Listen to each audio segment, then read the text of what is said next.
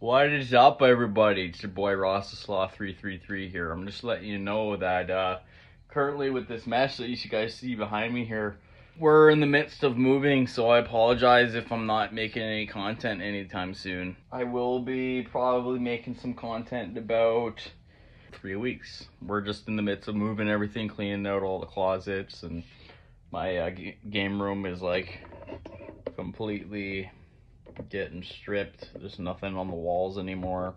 Um, we're gonna probably like sell a couple stuff as well. So yeah, I just wanted to update you guys.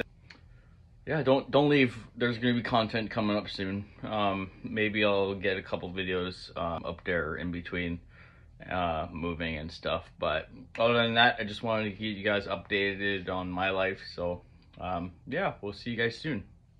Peace, love, and happiness. Take it easy. Bye. And